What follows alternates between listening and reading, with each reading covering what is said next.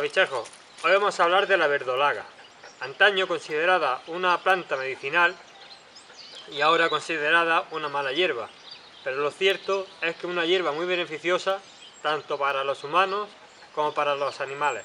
De todas las hierbas y plantas que crecen en el campo, la verdolaga es una de las favoritas por los pájaros, pues es rica en vitamina A, C y E, sales minerales y potasio. Es verdad que a los jilgueros, que los jilgueros no le atacan mucho a esta, a esta planta, pero también se la comen. Para los verderones, gorriones, canarios, es de las plantas que más les gusta. Y es muy buena porque también contiene mucha agua. No solo es buena para los pájaros.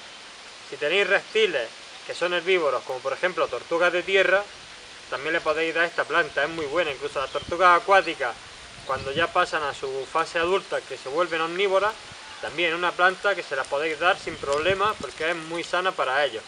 Siempre y cuando las cojáis de zonas donde no hayan pesticidas.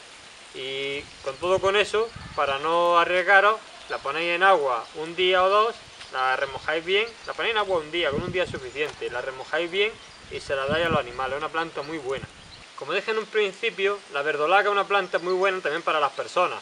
Por eso quiero recomendar el canal de Come Sano y Adelgaza, porque tiene una sección donde explica cómo consumir la verdolaga para las personas y sus beneficios para nosotros. Está muy interesante, es muy completo y os recomiendo que lo veáis. Aquí dejo el canal para que deis una vuelta por, él y lo podéis ver.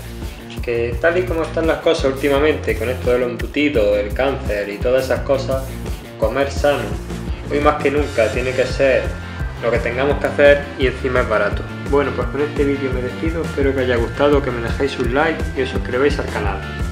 Un saludo y hasta el próximo vídeo, bichajos.